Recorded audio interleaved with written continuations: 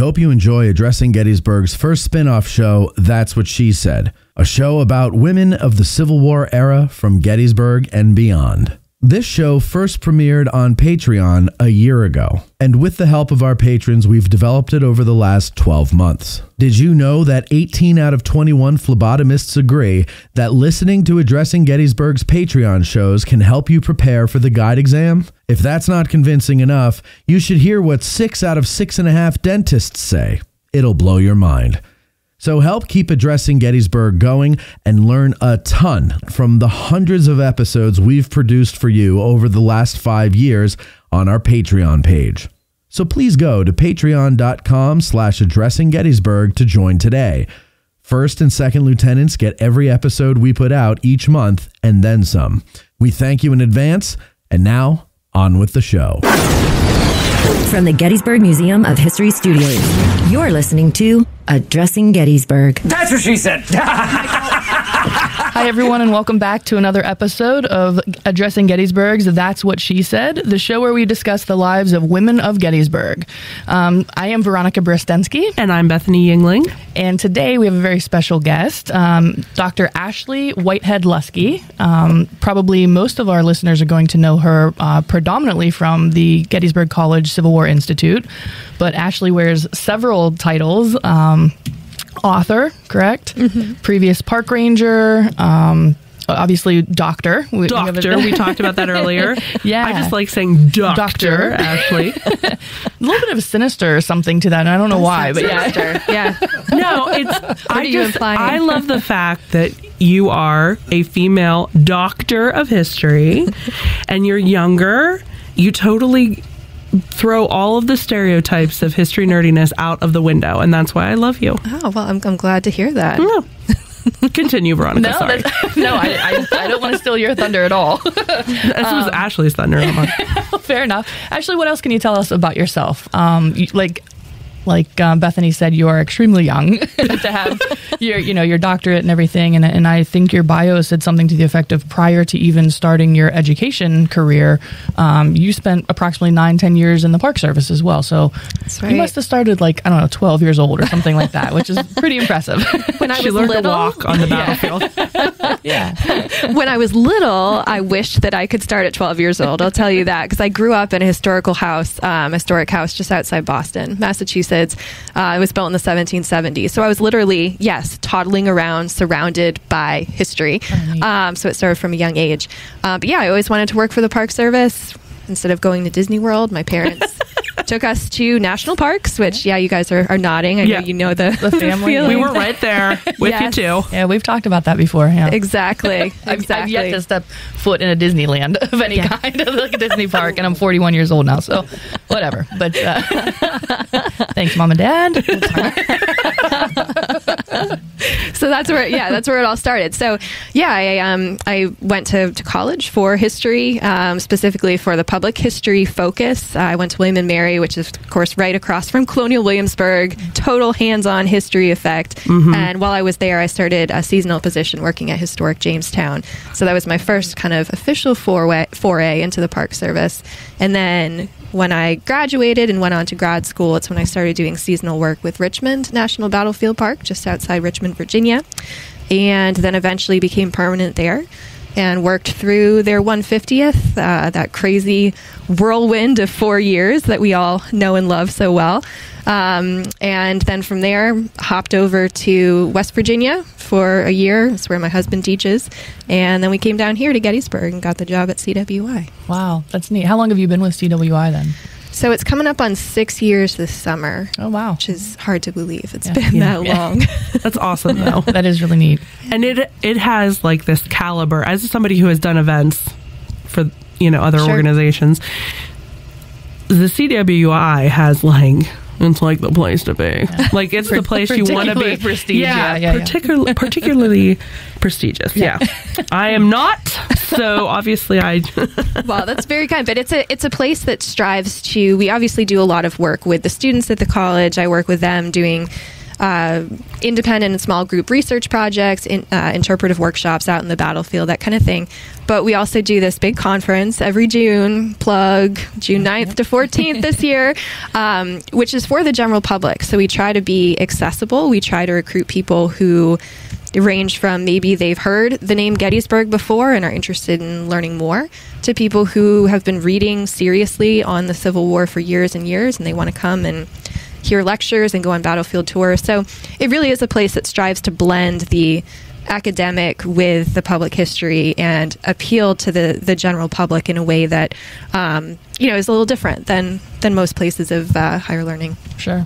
And it really attracts a lot of big name stars Yeah. in, in our field, right? Yeah, in our industry, definitely. right? Sure. That sounds like the nerdiest thing you're probably going to hear in the show today. But really, I mean, they're like the, the stars of the history world. Um, Yeah, their names. so- Everybody. I mean, if you've studied this at all, their names people know, Sure. and Sure. I, I'm always very jealous.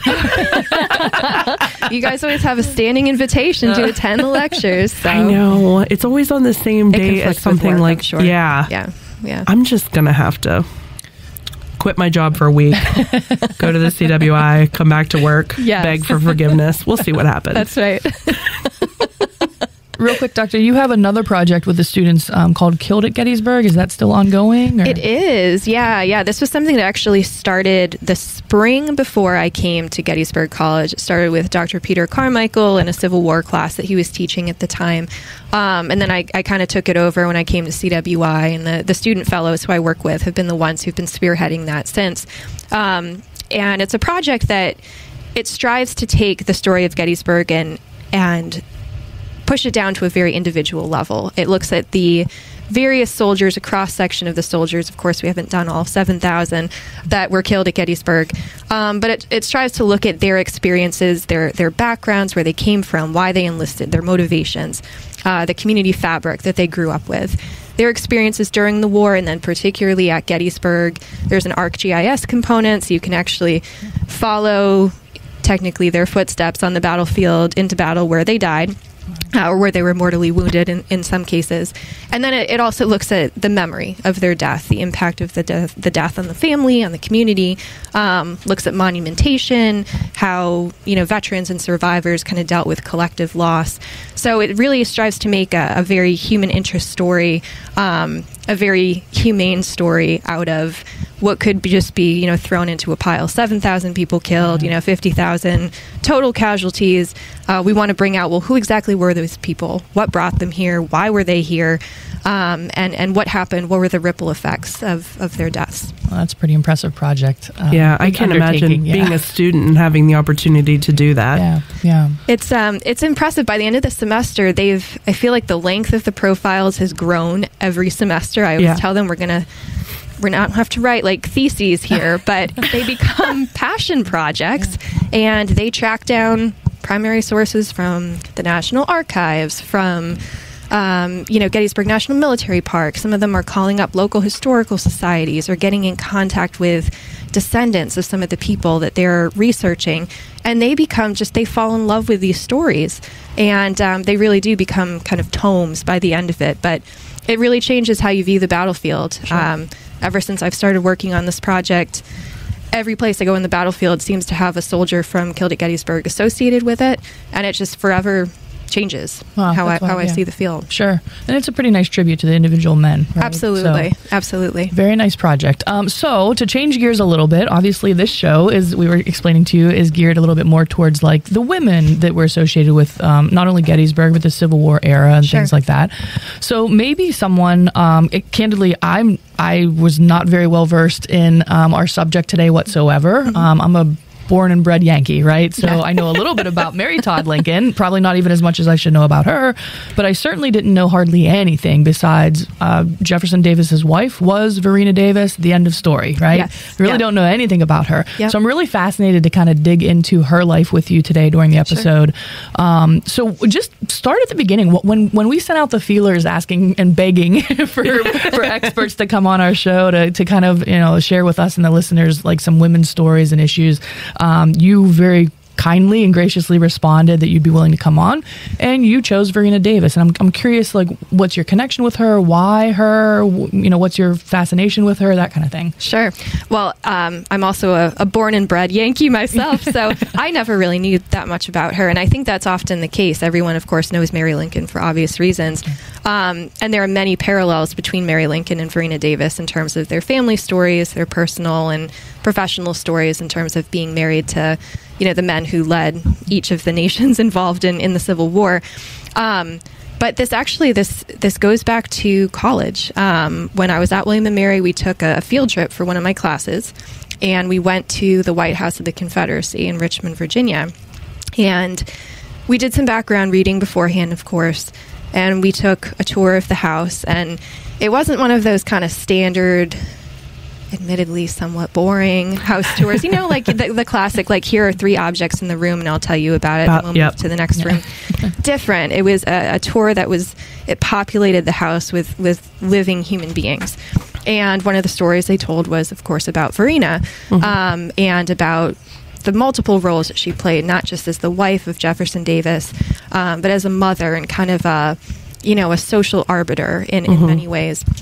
And she just stuck out to me from then on out as someone who was immensely complex for her time. She wasn't kind of the epitome of the kind of passive Southern belle that we think of, you know, the plantation mistress who wears the big hoop skirt, um, you know, doesn't say a heck of a lot in public, very submissive kind of woman.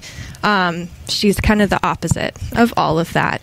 And because of my fascination with all of those complexities and the ways that she never really fit in, um, I, I wanted to learn more. And so that became the, the subject of my undergraduate thesis. And then it became actually kind of integrated with my, my dissertation project, um, which is currently undergoing many revisions um, to, to put into book form, but she's kind of the kingpin around which uh, the other the other characters circulate. It's wow. so interesting to hear you say that she was not yeah. the standard Southern Belle because yeah. I, coming into this, assumed that she probably was, and sure. that's why we don't hear about her as much as she was very you know, in the background. My husband's career is first, that right. kind of thing. So to hear you say that, I'm excited. Yeah. Because I think there's going to be some drama. Uh, yes, absolutely. Okay. This is great. yeah. Absolutely. so if you don't mind, dive on in. Tell us a little bit who was Varina yeah. Davis? How did she become Varina Davis that we that we know? You know, what sure. was her background, that kind of stuff. Sure. So um, Varina was born in, uh, well, she was in Louisiana. Her parents were visiting family at the time when she was born, but she's from Natchez, Mississippi. Mississippi, uh, is where they were living at the time. And um, in the ways that she's not exactly the classic Southern belle, it's the fact that she grows up in a family that has split family ties. Um, her grandfather had fought in the Revolutionary War and was then governor of New Jersey. Um, she herself is partially educated at a female boarding school in Philadelphia when she's younger. And then the other half of her family is um, uh, related to soldiers who fought in the War of 1812. Um, you know, big plantation owner kind of family. But by the time Varina gets to marrying age, um, her family doesn't have a ton of money. They're not poor, but they don't have a ton of money, and there's not a high dowry that her father can pay. Um, and so her marriage prospects aren't really that great. She also doesn't have the classic look of, you know, the Southern plantation belle, um, which for that look, it's on the thinner side, petite, uh, classic, you know, ivory colored skin. Um, again, the demeanor of being passive, never talking about politics. That was not Varina at all. She was tall. Yeah. Some people even referred to her as masculinely tall. Um, and when I went in and did my research looking at her, her wedding dress size was the same exact size as mine. And we oh, were the oh, same height. So I thought, ooh, I wonder if I'd be considered masculinely tall. And in fact, fat is what a lot of people called her, um, even though I don't think she was fat, but she wasn't that like tiny, tiny figure. Yeah. Her skin was not that pale ivory color, it was um, an olive color. And in fact, during the war, uh, when she was in Richmond, there were some other elite women who referred to her as quote unquote a squaw and suspected that she could be mulatto because her skin was not super, super white. So she was also extremely intelligent. She had been partially educated in the North. So again, red flag going into the Civil War, the wife of you know the Confederate president, and you have ties to the North. Um, but she liked to talk about politics. She liked to talk about literature. She laughed raucously at things that she found funny, which of course you just don't do back then. It's the little giggle or something like that. If you even Uh, got the joke, right? Yeah, if you got the joke, exactly. Right, yeah. But she would regularly take on men in conversation and, and want to dive into deep, deep topics. And she meets Jefferson Davis. She's invited to his plantation called the Hurricane um, in Mississippi when she's, I think it was 1843, and then they get married in 1845. Jefferson Davis has already been married to the daughter of President Zachary Taylor. And um, Taylor's daughter dies within a year of Jefferson Davis and, and her, Sarah, getting married. And this never really, Jefferson Davis never gets over it. Um, and in fact, on his honeymoon with Varina, he takes her. I'm going to get mad, aren't I? To the first wife's grave. Oh, no. Yeah. But this is, you know, in Varina's, you know, family, they say, well, Jefferson Davis, he comes from wealth, hundreds of acres plantation, slave owner, politically connected. So they think, you know, she's going to be pretty well off. But, you know, it starts out emotionally rocky from the start, and that only continues throughout their marriage. Um, and when they first move up to Washington, D.C., Jefferson Davis is, of course, a, a U.S. Senator. He's in the House of Representatives. So they move up there before the Civil War starts, obviously. And they have a very active social life, and Varina loves it. She loves Washington, D.C. She makes a lot of really good friends who will eventually cast their lot with the Union, not the Confederacy. She's very well liked there because I think she fits in better with kind of northern ish urban life. Um, things change dramatically, though, when she gets to Richmond. Um, and that's really where the story gets super interesting. Well, if I can stop you and just kind of go back a little bit, there, there was a. So when you're talking about uh, Jefferson Davis, he went through a, a pretty extended. I think I saw several year length of kind of hermit like life where he was really mourning his first wife and and.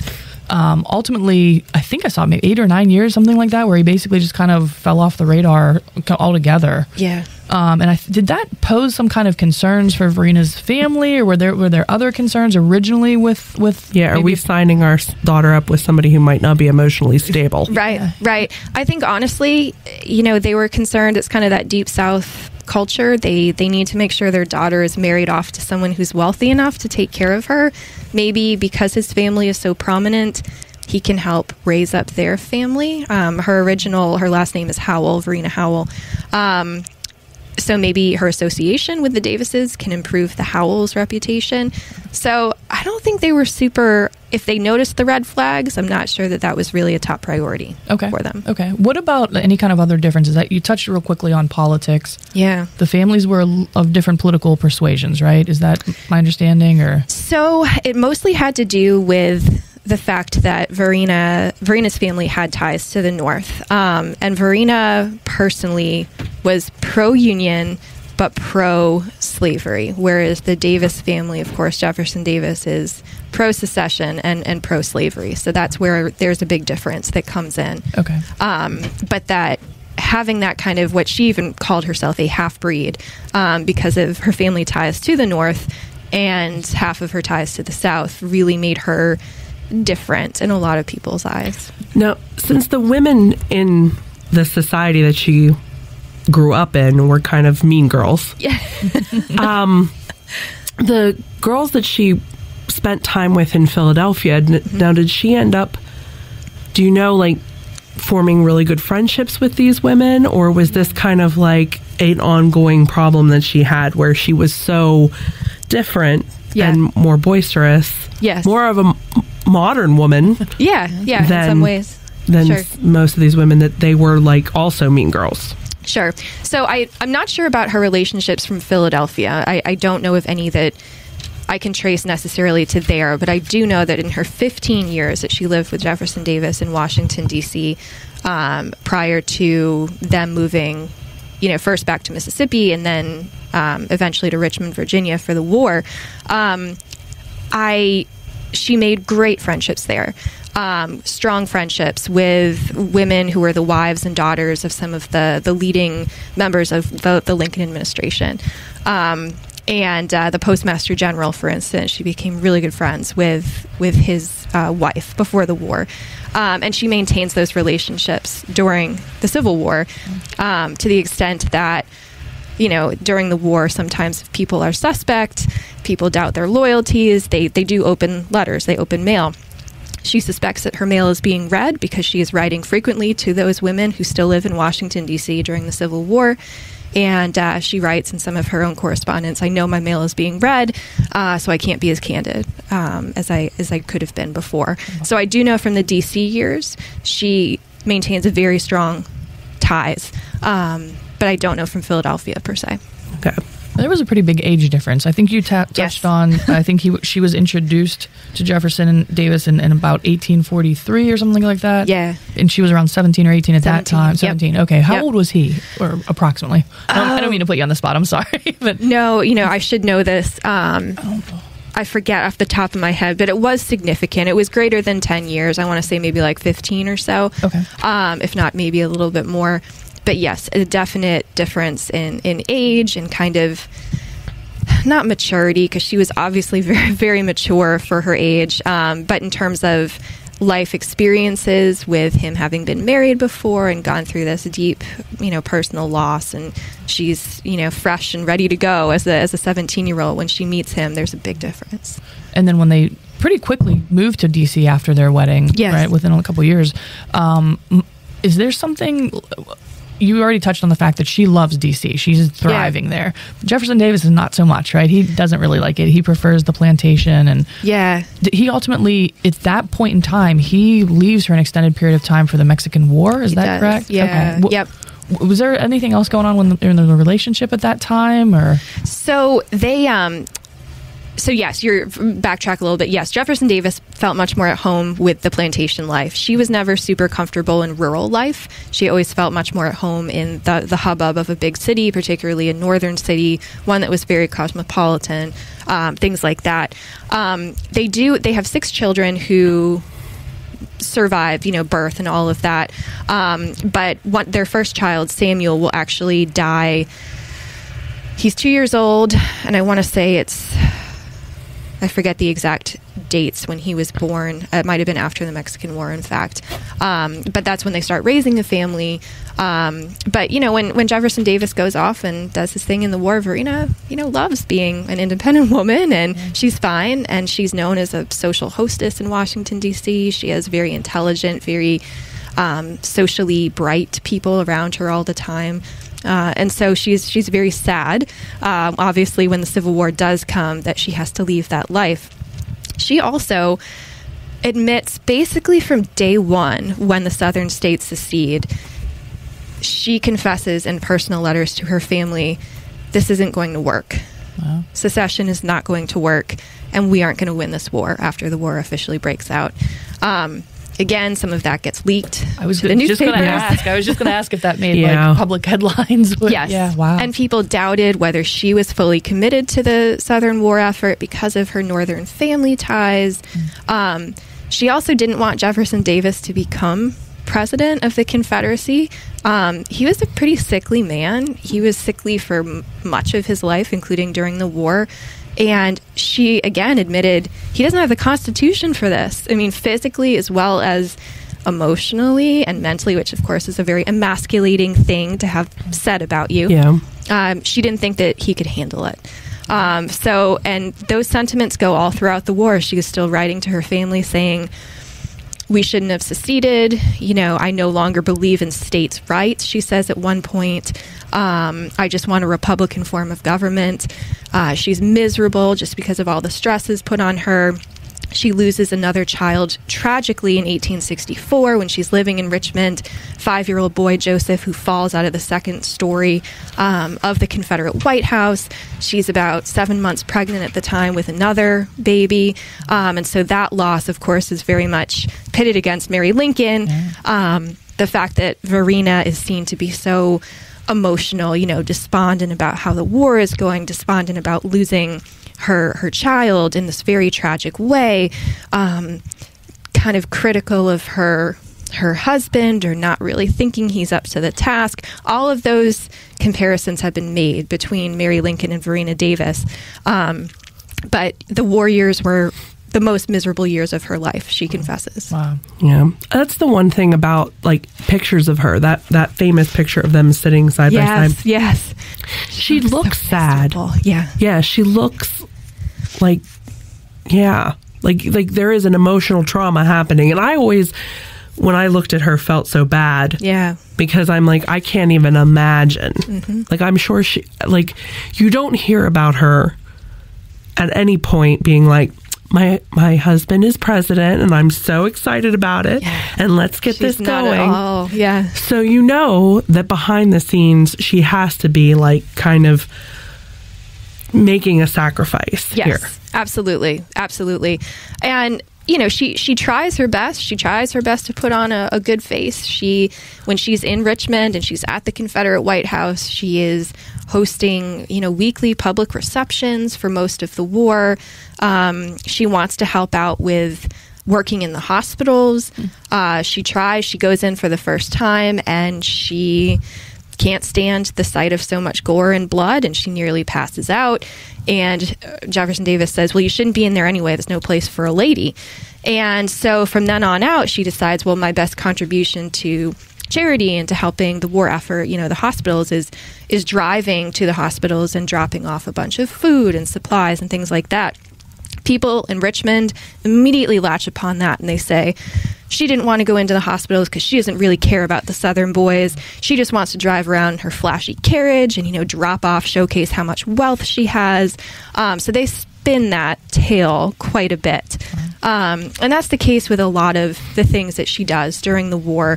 Um, again, the fact that at her public reception she's talking openly about politics with men and having debates with them. The fact that you know her her dress, her comportment um, is not like classic FFV, First Families of Virginia. People in Richmond at the time, I mean, as, as cosmopolitan as the city was with business and industry and the, the domestic slave trade and all of that, there were lots of people coming and going even before the war started. But socially, it was very insular. And you had to come from a certain line of breeding, you know, classic traditional Virginia family, in order to really fit in. She obviously didn't have that. She's coming from the deep south.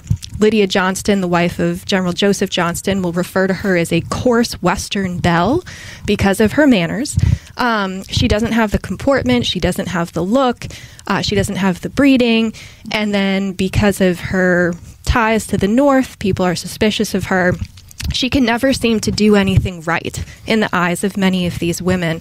Um, sometimes she's criticized for dressing too flashy. There are all these women who are writing snarky letters to each other about the Lady Queen and Empress Varina. And do you know she wears a crown of fake jewels on her head? I mean, all this stuff that isn't true. And on the other hand, they're saying, well, she doesn't have the classic figure. She's fat. She's dowdy. So she just can't. She just can't seem to win in, in so many regards. Yeah. Mm-hmm.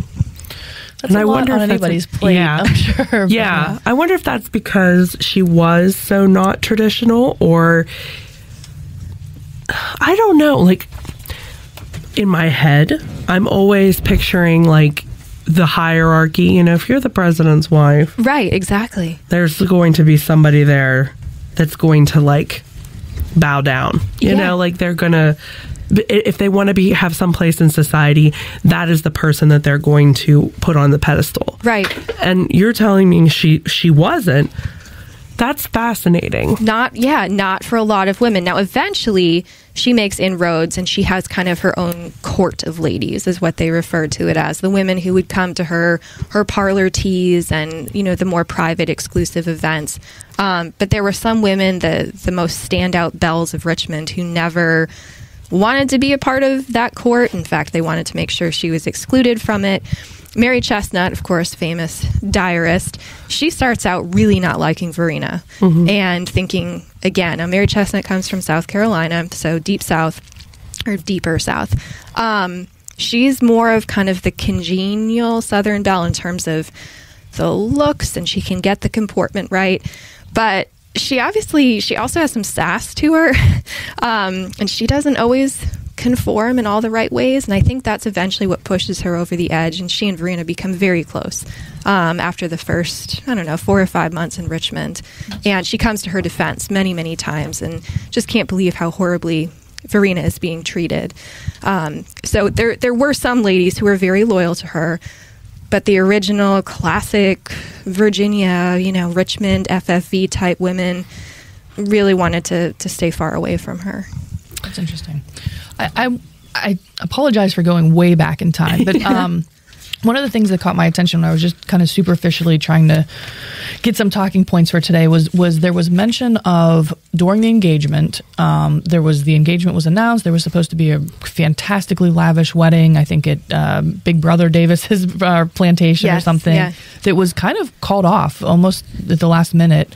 Do you know anything about why? Does Does anybody know about why? I mean, I, obviously they reconciled and they went through with the marriage later on, but Sure. any any reasons like were, were there underlying ripples of discontent between the like husband and wife prior to that Or Sarah you know yeah, uh, Sarah came Knox Taylor. back- yeah. yeah came back into the the emotional Yeah. vortex. I think, I mean, they were having troubles during that time, um, and I'm not sure if that was the key thing that shut down that initial, initially planned wedding. Um, but they were. I mean, Jefferson Davis would often tell Varina, like, you've got to get your emotions under control. You know, you're way too immature basically for someone who's about to marry me um, and varina took that very harshly because she And who wouldn't? yeah, exactly. She's very obviously mature, but she wanted to to be more outspoken than he wanted her to be, and she was upset that you know Sarah still looms so large in Jefferson Davis's memory, and she she wanted that kind of cleared and rectified before they were married, and it just wasn't. So I'm not sure if there were logistical issues as well, um, but I do know that they were undergoing a lot of emotional challenges. Yeah. And then i think even once if i understood correctly once they do get married and they do the little honeymoon and including the visit to the grave etc um, they move on to into a property that again big brother owns and and at that point almost immediately i think she recalls feeling kind of like controlled and Yes. Can you explain a little bit more what was going on at that time? Yeah, absolutely. So she does move into yeah. Big Brother is is an interesting character in her life. Um, Jefferson Davis's big brother, um, but yes. So Jefferson Davis and really the whole Davis family have very rigid prescriptions for the kind of life that Varina should lead. She should be subservient. She should be you know your classic domestic, you know housekeeper kind of type. Um, you know, staying inside, not letting your your skin get browned too much, and things like that. And Varina, you know, wanted to be outside. She wanted to take on chores that maybe weren't traditionally feminine, might even be considered masculine.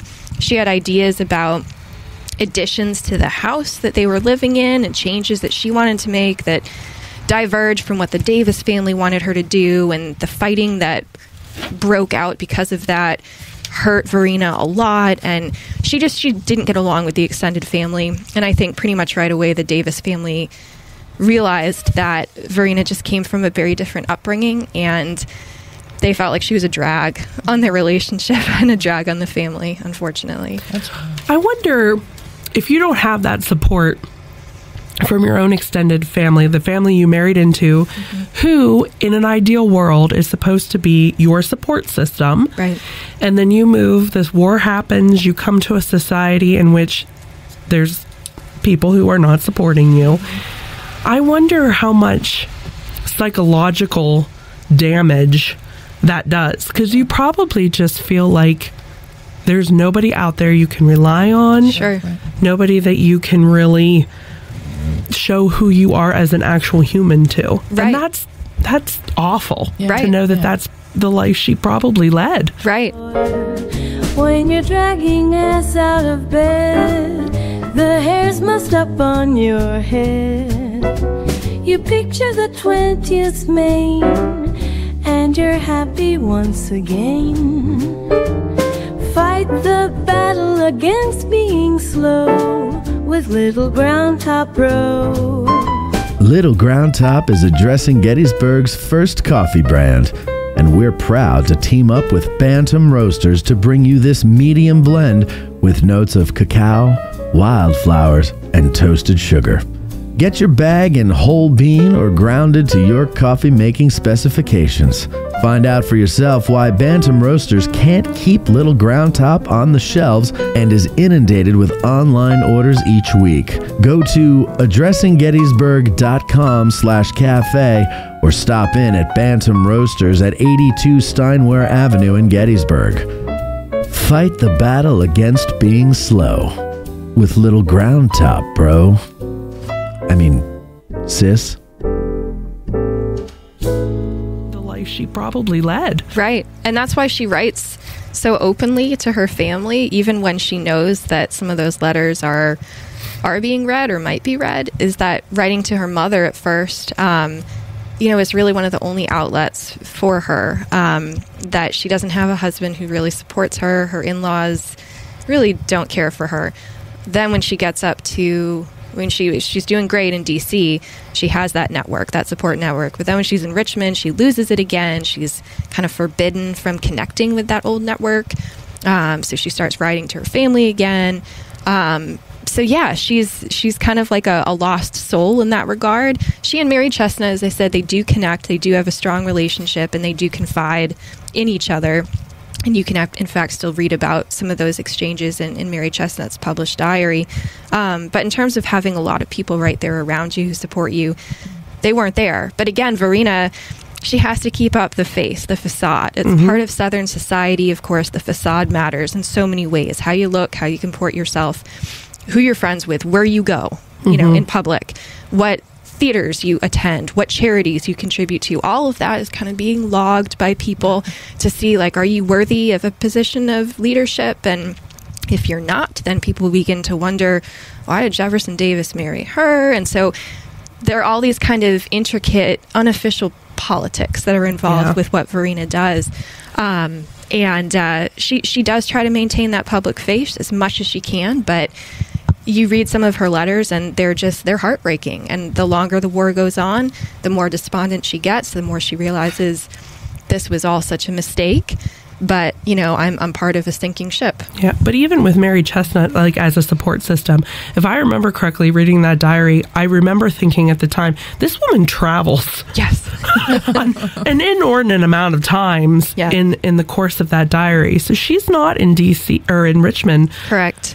All the time. Yeah, she's going back home, South She's Carolina. everywhere. She's visiting family, friends. Yeah. Yeah. So like, so she's not there to be a support system Yeah. every day the whole four years of the war. Sure. Sure. Yeah. No, that's absolutely true. And another common theme I kind of saw, even between just Jefferson and Varina, was just an ongoing kind of ebb and flow of maybe some depression between the both of them. Obviously, they were through some very hectic, uh, disappointing life experiences. But even before, you know, any of the children died or the war broke out or anything, there were some, if I'm understanding correctly, there were some letters that that survived to this day, basically exposing mutual dis- discontent and difficulties and things like that when he was in the war in Mexico. And Yeah. that kind of keeps going throughout when he's, even after the, the war, when they're Yeah. separated and things like that. And there's, I, th- I think, well, I'm sure we'll get to it, but allegations of infidelity and things like mm-hmm. that. I mean, it, this isn't like the storybook wedding, Yeah. you know, or, or, yeah,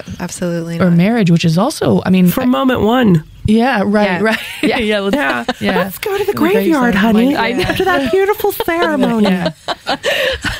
but I, I guess that you know I never again full disclosure I don't know much about her coming into this but I'm very just shocked I guess I, I just assumed naively that you know um you know southern gentleman this what you know Yeah. his wife can do no wrong she her husband can do no wrong they're going to be side by side and the confederacy all the way and you know Right. I just I'm very very interested Right. to hear about a, a woman going through her own experiences struggling with her own intelligence and and you know kind of being Right. dissuaded from you know engaging in that kind of Sure. life so so um I, I apologize because I kind of cut you off. You were already talking about, um, you know, the war had broken out and the, the, the second son had passed away now uh, tragically while in the White House, the Confederate White House. Um, so ultimately, I mean, no spoiler alert, the Confederacy loses, right? So What? Uh, I know, right? So Wait, back up. Yeah, okay. Alternative history here. Um, But so okay, you know, there we've touched on the struggles and stuff throughout the war, and she's not getting much credibility or respect from the Yeah. Southern ladies in, in the Confederacy. Ultimately, we know the war ends. Uh, ultimately, Jefferson Davis um, flees, for lack of a better way of saying it. Does, is Varina with him, and the, is the family with him, or are they separated? Or So when the family leaves the White House, they are separate uh, from him initially. Um, because there's this big plan that they're going to set up a new Confederate government in Danville, Virginia. And that, of course, never happens. Varina flees with um, the children and she takes some valuables from the White House, you know, personal valuables. And then they eventually reconnect. And I'm not exactly sure where the reconnection happens, but of course, he's captured they're all captured together Okay. um, in in May um, in Irwinville, Georgia. And what happens there, of course, is another very famous incident where Jefferson Davis knows, of course, that he's being pursued. Uh, there are other members of the Treasury and you know his his administration uh, who have split off in different areas. They're also being pursued by the Federals, and so Jefferson Davis knows that there, there's this cohort of, of Federals who are coming up on his tail, and we're still not exactly sure what the real answer is. But when he is found and captured by the Federals, he is wearing Varina's cloak. And all of these rumors break out. Was he dressing like his wife as a disguise, trying to get away from these captors by taking on the persona of a woman, which, of course, deeply emasculating, embarrassing. Um, he really kind of snaps back at that. He snaps back even at Varina, like, you know, because I have your cloak on, it makes it look like you're protecting me and I'm emasculated and you're the protector. We just don't know what's going on. Varina says that it's because, again, he's sickly. It was a chillier morning, and so she threw his cloak on him at an earlier time, and he was still wearing it when he was captured. Yeah. We don't know, but all, this makes the newspapers. Jefferson Davis even captured in Varina Davis's dress. Of course, he was not wearing a hoop skirt when he's captured. Like that, just it didn't happen. But Although he did have the, cloak. on. image that everybody had in their heads, I'm sure. Exactly. Like the hoop skirt and the bonnet. Yeah. Exactly. Exactly. Um, so yeah, and then from that point, of course, they do get separated. He is sent to, to Fort Monroe for two years. He's in horrible health. Varina Davis visits him numerous times. He's getting worse and worse. She tries to petition to get him out of there, move to a house instead of a cell. Um, has a special doctor come in to try and take care of him. Eventually, he's released. He refuses to take the oath of allegiance. Um, he never takes it. And so from then on out, you know that, you know, they're going to be suspect by the federal government, obviously for a lot of reasons, but the fact that he refuses to take the oath uh, is one of them. Does But she have to take it? She does not because she's not technically a combatant or citizen. Ah, yeah, gotcha, gotcha. She can't vote, so she doesn't have to do. Oh, I never. Oh, Yeah. duh. Okay. Never thought about that. Sorry. Yeah, yeah, yeah. So and then yeah, the their post-war lives are are just a disaster. I just It's a figured- continuation. First Lady of the Confederacy, I don't care if you vote or not. right, I'd want to know. right. Yeah, they don't bother. They don't bother with the women. Um, they, of course, are hot to trot on the the high-ranking Confederate politicians and generals and officers and all of that. And certainly, if you want to serve in any political office afterward, you have to take that oath. Um, but it's a matter of pride for Jefferson Davis, and he never never takes it. I don't know if I knew that. Actually, I never, I probably never gave any thought to it. To be honest, but I don't think I ever knew that he just outright refused from from that point on. Because I think Lee does, right? Lee ultimately signs something, and it Yeah. gets lost for decades or something. And you know, yeah, there are a whole bunch of them that agree to take it. Even some of the most like stalwart people behind the Lost Cause mo- movement, you know, Wade Hampton, people like that, they sign the oath. Um, of course, they have political futures ahead of them, so they know that they need to sign. Jefferson Davis probably suspected he would never be allowed to get involved politically again after this. Um, Does a refusal translate into exile? I mean, is he forced to leave the country, or are they allowed to stay here? You, they're allowed to stay they just can't vote they can't hold political office you're just you're just kind of there, there. okay. Yeah. Okay. So they do actually they they not maybe for a long term inhabitant, but they they go out of country. Is They that do. correct? After the war, can you touch on that a little bit? Yeah, so they um they do travel quite a bit. Um, so after the war, Jefferson Davis, the the Davis family loses their plantation. Um, it's in fact it's confiscated um, by the federal government, and so they have no place to live after the war. So they're kind of doing this traveling circuit through Europe. um, an interesting kind of social circle arises in Europe after the war with ex Confederates who are basically being taken in by um, Parisian saloniers and people who are, you know, kind of the aristocracy in Europe. Paris is really good about that. Yes. Yeah, they're Yeah. really good about taking in old, high-ranking people from other countries. Yes. Yeah, at that time, yeah. So they are, yeah, they're doing kind of the grand tour of Europe, living off of other people, but also trying to kind of rekindle some of the the old social aspects, at least of the old South, uh, with the salons and the, you know, the the kind of elite society that they've cultivated. Um, so they're they they are doing that quite a bit. Eventually, um, Jefferson Davis is um, is offered a home not to own but to live in with this woman named Sarah Dorsey in Mississippi and that home is called Beauvoir and Sarah Dorsey will take in the whole Davis family and she feels bad for him. She wants to support the Davis family so they come back to Mississippi. And uh, Sarah Dorsey will eventually help Jefferson Davis write his memoirs now Verena Davis never feels comfortable at Beauvoir there's Uh, yeah. throngs of people um, who are stopping by every day to ask questions and try to get autographs and things like that. Um, it's not her house, you know. Yeah. She's being put up by another woman, and there are some rumors floating that Jefferson Davis and Sarah Dorsey, you know, might have had something going on. Also, Verena's health is not good by this time. Um, she eventually dies of heart disease, essentially, and the the humidity and the heat down there at Beauvoir is too much for her. So she actually takes off and goes back to Europe by herself, and she leaves Jefferson Davis there with Sarah Dorsey alone. Of course, this is when the Yeah. rumors really pick up, and we don't know really if there's any truth to them or not, but she's in Europe, she's touring around, she's again kind of doing her thing. She writes to Jefferson Davis and he's, you know, saying, you know, I don't know if you should come back. You know, it's actually it's pretty good for your health to be away and so she That feels makes you like feel oh, really wanted, Yeah. supported, loved. exactly. and she doesn't necessarily want to come back either because she doesn't like living at Beauvoir, but she knows she can't just live, you know, in Europe on the backs of other people. So eventually she does come back to Mississippi. Um, and, and Jefferson Davis is very sickly by that time, and he eventually passes away in 1889.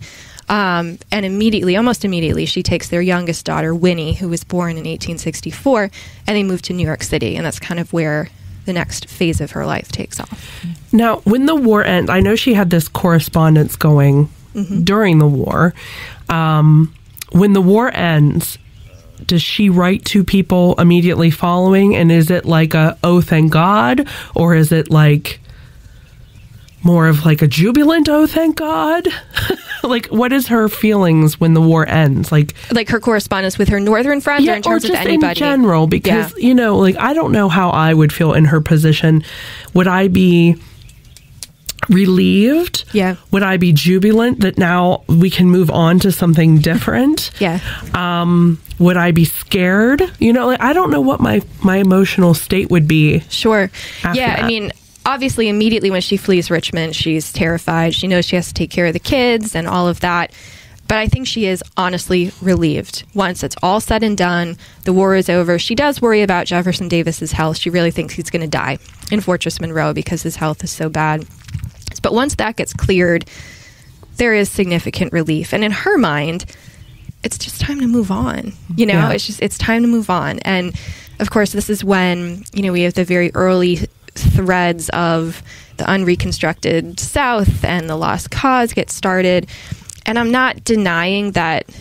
I'm not denying that Varina ever participated in that because she did certainly tour around. Jefferson Davis gave speeches. She would often be asked by the UDC, United Daughters of the Confederacy, to give speeches, and she'd say, okay, fine. But that wasn't her passion. She just wanted to move on. She wanted both sides to, to, to reconcile. Um, and she had always had different views about slavery than Jefferson Davis and a lot of people from her class. She she obviously, you know, comes from a slaveholding world, but she refers to slaves as human beings with frailties. The fact of the matter is she called them human beings. Jefferson Davis viewed them as basically animals in and you know very blunt terms. Um, and so when when emancipation happens and you know the war ends and four million black people who were once enslaved are free, it's not as much of a world shattering thing for Varina as it is for other people. I'm not at all saying that she was a, you know, fan of equal rights or wanted to befriend a lot of black people, not at all. But she's not shattered Even in the though- way that a lot of people were. Even though she was mulatto? Yes. That's right. okay. that was called a callback. Yeah, well Is that what they call it in the Yeah. industry? I'm Yeah, still yeah. learning. All right. Yes. Exactly So, right, yeah, Thank you. Uh, so okay, so you said that you know after Jefferson passes away, uh, she and the, the youngest child moved to New York. And Yeah. how she outlives Jefferson qu- quite some time, right? I mean, She does. So Varina dies in 1906. Um, Jefferson Davis is 1889. So it is quite a long time that she lives without him. does she ever remarry or? She does not remarry. Um, when she moves to to New York, um, she CVS pharmacy is calling me for anybody who is curious. Um, um, so anyway, yeah. So when she moves to New York, she has her her youngest daughter um, with her, Winnie, and Winnie is known by by this point as um, the daughter of the Confederacy. She's born during the war. She's the last of the Davis children born. Can you imagine having that hanging over your head from birth? I know. I no, no, thank Kinda you. Like a, a like a propaganda, like a rallying cry, Oh, she, right? Yeah, like yeah, wh- she when she was definitely first is. born. Yeah, okay. absolutely. And so after the war, um, you know, Southern Heritage groups, the Sons of Confederate Veterans, United Daughters of the Confederacy, they all want the daughter of the Confederacy to come speak. If Jefferson Davis isn't available before he dies, they want Winnie. And after he dies, they don't want Varina, they want Winnie because Winnie is the real deal. She's born of, of both their blood, um, and they're most concerned with Jefferson Davis. So she does a, a big speaking tour, and um, she's often, you know, invited south to do things. Varina is often invited south to do things too by the UDC, um, but they refuse to pay for her food and her lodging when she goes down south to give speeches or attend, you know, grand meetings of the UDC. And when she submits receipts for reimbursement, people were truly offended. Like, how dare she want to be reimbursed? She lives in the North now. She lives in New York City. How could she do this? Um, so she stops going to these to these yeah. commitments I don't Um, blame her. and she casts her lot with New York City. And what's even more interesting is that she takes on a, a public role as a, a writer for Joseph Pulitzer's New York World newspaper. And she's a very active writer. And Winnie is also act, uh, writing during this time. She writes a few novels. Um, but again, it's kind of a rare. If Jefferson Davis were alive, he would never approve of this thing that she's sure. writing for a newspaper, a major newspaper, as a woman. Um, she's writing about a wide variety of Yeah, topics. she not threw off just all of that. issues. Yes, You can tell she threw off all of that. All Yes. of that Southern Belle. Yeah. I've been, you know what? I'm done. Yeah. You can tell. And then when, you know, initially some of the UDC groups who were kinder to her said, well, you know, we'll we'll pay for a home for you to live in if you just come back to, to the South. And she says, no, I'm happier here. I'm healthier here in New York City. Um, and basically gives them the kiss off and says, I'm going to support myself. Again, very not late 19th century female. Um, she has an apartment there where she hosts some very lavish teas and parlor parties. She makes befriends a lot of northern ladies. Um, she meets Booker T. Washington and has a pretty civil, by all accounts, conversation with him. And she befriends one of her best friends in her later years is Julia Grant, the wife of General Grant. So of course, people from the deep south, they look at Grant, you know, it's Grant, Sherman, and Lincoln who are evil. Yeah. Um, and the fact that she and Julia are all about we got to move on, it's time for reconciliation, that raises a lot of eyebrows. But she loves Julia. Julia is very smart. She's very um, intellectually focused in her conversation. She's not just kind of a gossiper and a rumor monger. And uh, she spends some of her, her final days in, in great conversation with Julia, um, which will mar her reputation in some ways in the South, even more so than it was before. But it's um, it's of great gratitude um, to Varina that those were again kind of reliving some of the the Washington D.C. days. I'm curious when you say that Winnie was kind of sought after. What, would she, was she a little bit more willing to be engaged, or she was a little bit more of like a rah rah like spokesperson, or just going through the motions, to, or you, what, what vibe do you get for that? I think because she grew up from such a young age as being adored as this, you know, the last child of the Davis family. She was born in 1864. It was kind of, she knew that was what was to be expected of her. Um, she really, she loved her father a lot. She thought a lot of him. Um, and uh, she obviously understood that there were differences between what her father's expectations for her mother were and what her mother wanted out of life. So I think she could kind of see both sides, but she really had a, an affection and a loyalty for Jefferson Davis that she was willing to do all of these things um, publicly, especially in his memory after he dies. Interesting. Did that cause any rift between mom and her, or mom just kind of said, "Do your thing"? Mean, not Yeah, yeah. I think Varina was just kind of like, you know, she's she is who she is, and that's her identity. And Varina was not one to necessarily stop anybody else from doing their own thing um, if it was different from what she wanted to do. She just didn't want other people to tell her, "You have to do this." gotcha, gotcha. Makes sense. Yeah. What a fascinating lady. I had no idea. Ugh, me neither. No idea. Neither. And I I am going to look at her in a completely different way from this point forward. I want to know more about her time in New York because whenever you think about the at post Civil War in New York City, we start to get into those big names, mm-hmm. those big society names, the Industrial Revolution names. Yeah. I don't know, hobnobbing with some Vanderbilts, or you know, what was she doing that, or is she kind of like, you know, below that in society, or I think she was willing to talk to just about anyone. Honestly, she, if you were intellectual, she wanted to talk to you. Um, it wasn't really a matter of wealth for her. It was more so if you could carry a smart conversation. And a stimulation. She was interested. Yeah, Yeah, yeah, yeah. What about? uh, Did she write her own memoirs, or is what kind of resources can you point our audience to if they want to do like a deeper dive about Varina? Yeah, so she doesn't have any kind of full length memoir that she did for herself. She did also help um, Jefferson Davis a little bit with his memoirs, but Sarah Dorsey also was was key to that effort. She helps to get them over the finish line to get them published posthumously, um, but she does not. She does not leave behind, you know, my story of the war. Um, so really, piecing her story together comes from a lot of her personal correspondence um, looking at um, diaries and, and memoirs of other women that she interacted with, even some of the men. Um, she befriended a couple of the male politicians in Richmond, a couple generals. Was really good friends with Judah Benjamin, um, who was a member of the Confederate cabinet. He was Jewish, which, of course, during the Civil War, especially in the South, that was not Jewish people were suspect, and so a lot of people, even even though he was high ranking in the Confederate cabinet, people kind of backed away from him. But she didn't. That didn't bother her at all. She loved him. She thought that he was very smart and a conversationalist. So, you know, there are correspondences there. Um, but really, it's it's it's piecing together the primary sources from all these different um, you know correspondences and letters and such. There was a really good book um, that was written about her in oh gosh 20 2007 2006 somewhere around there by joan cashin.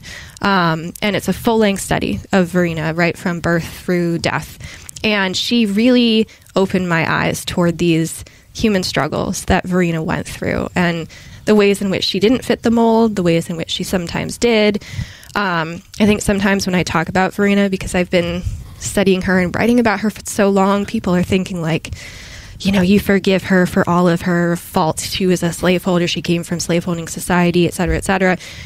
I don't. She was human. She had faults. I'm not saying that she was some like super modern progressive woman, but she was way beyond the classic mold from her time and much more complicated than we would initially think that she was.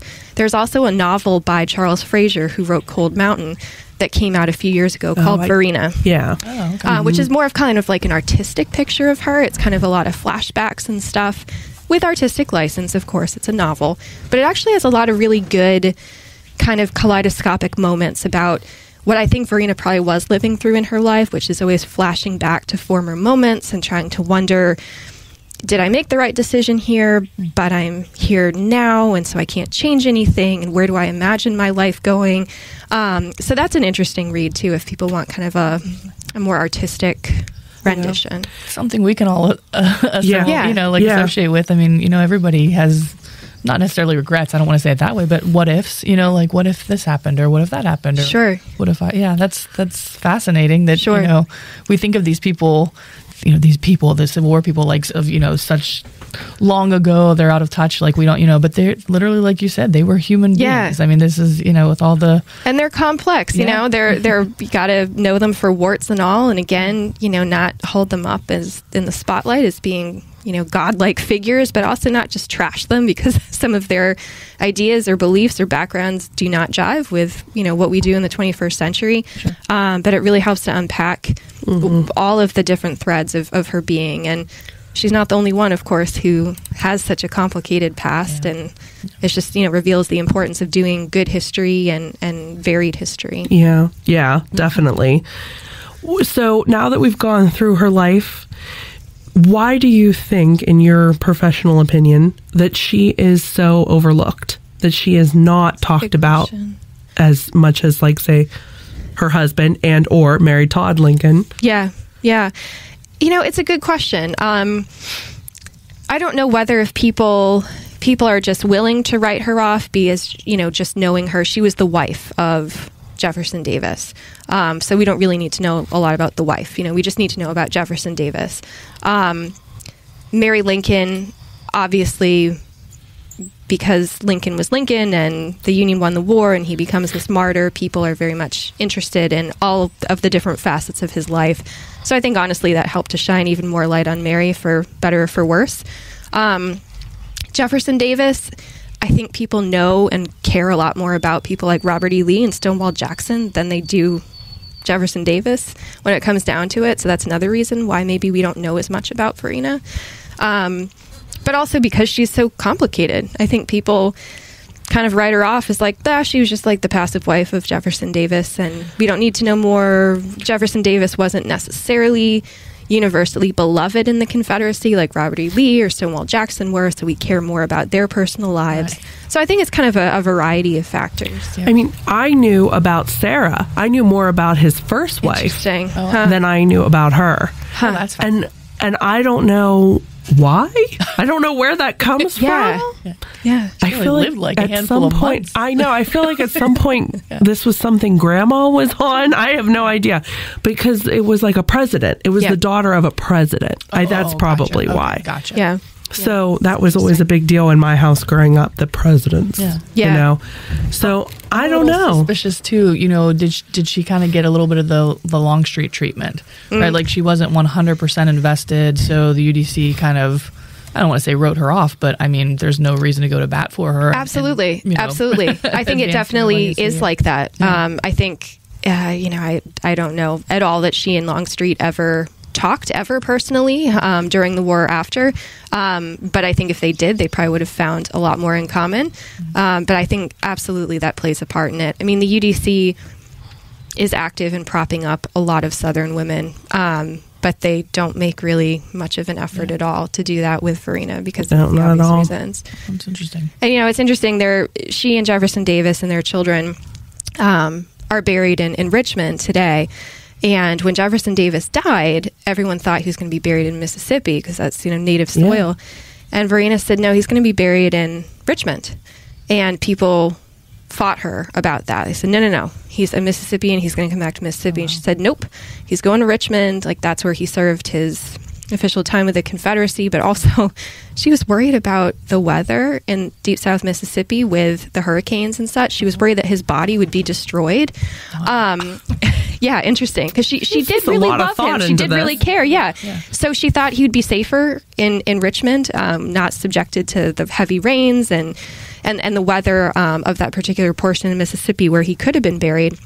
Um, she also knew that um, it would probably be easier to visit him in Richmond than it would be in deep South Mississippi, dealing with all of the, you know, people who were fighting her tooth and nail throughout the war and the UDC groups and all of that. So so they're buried in this position of prominence, of course, in Hollywood Cemetery, which overlooks the James River, and you can see the the city and um, you know the modern day buildings from there.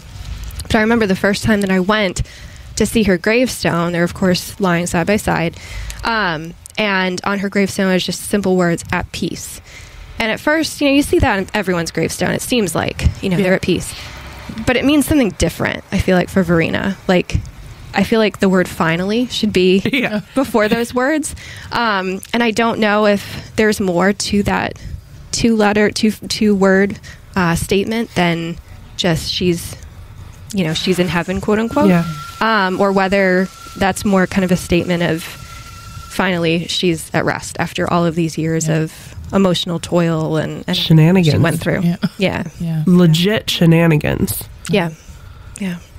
Oh, well, this has been Yeah. completely 100% eye opening. So thank you so much. Good, good, good. I'm glad that you thank guys you. enjoy. I feel like I always, I- yeah, I feel like people get excited about Varina when I talk about her, which makes me excited. Again, Yeah. not because I'm like fangirling on her, but just she's she's so fascinating and so many layers to unpack that I want more people to Yeah, to understand that give and try to some peel thought, back. Yeah. So speaking of that, you kind of alluded to um, your, I guess, your doctoral uh, project, uh, maybe in book form. Is Yeah. that, or is that something we can expect uh, soon? Or Hopefully, at some point. it Okay, seems like every time I get back to revising it, because I defended the project in was it 2014 or 2015, um, and you know, then I left the Park Service and moved. Then we had baby number one. Then we moved here, took on a new job, and we have baby number two. So now it's like every time it goes down the line, there's something pushing it off. So every now and then I'll open it up and I'll do some revisions and go back to it. Um, but yeah, it's as I mentioned that Varina is kind of the the linchpin to this story. It looks at um, elite Confederate women in Richmond and um, the idea of them being social politicians, um, essentially helping or trying to help the city stay together socially, morally, politically, in ways that we don't usually think women have that influence. We think because they couldn't vote, they couldn't hold office, they're not politicians. But in fact, because of how they were watched, how they dressed, how they where they went, where they you know patronized, who they hung out with, um, the influence that they could have on their husbands and making certain decisions about promotions of generals or, or things like that. They were very much politicians. Um, and, and social politicians is what I refer to them as. So Varina is kind of the central story person in that niche, um, but also Mary Chesnut and then a bunch of kind of middling women as well. And looking at kind of some of the social disaster that unfolds in the city and how those women tried to kind of hold it hold it together when their men are preoccupied with you know battlefield stuff than official Yeah. cabinet material. Well, it sounds fascinating. yeah, I'm excited. I wish you luck I'm excited selfishly let to, us to pick it know. up. Yeah. Thank you. know. Yes, absolutely. I know. I feel people always ask me that question. I'm just like, oh, I wish, I wish I could say. Um, but I'm also one of those people who likes to hold on to a piece of work, you know, ad infinitum, just to make sure it's perfect before I send it off. So Preaching to the choir, your girlfriend. So I just we got gotta you. let it go at some Yeah. point. Let someone tear it to shreds and tell me what I need to do, and then come back to it. But um, there's still more I want to do to kind of rework parts of it. That's neat. Well, again, good luck with it, and please let us know so Thank that we can you. tell our listeners to go grab a copy and Yes, get behind us in line, of course. But go, go grab your own copy. Uh, Doctor Doctor Luskey, thank you so very much for joining us. Thank you guys. This has been fun. I'm glad. I'm glad. And if you can think of any other topics, we'd love to have you back. Okay, Um, this, this was a blast. And to the listeners out there, thanks for joining Yes, us thank on you. another journey, uh, learning about some fascinating women in the Civil War era. So we hope to catch you next time. Thanks for listening. Thanks, guys. Bye. That's What She Said was created by Amy Welsh and is hosted by Bethany Yingling and Veronica Brostensky, Esquire, produced by Matt Callery, and recorded at the Gettysburg Museum of History Studios. I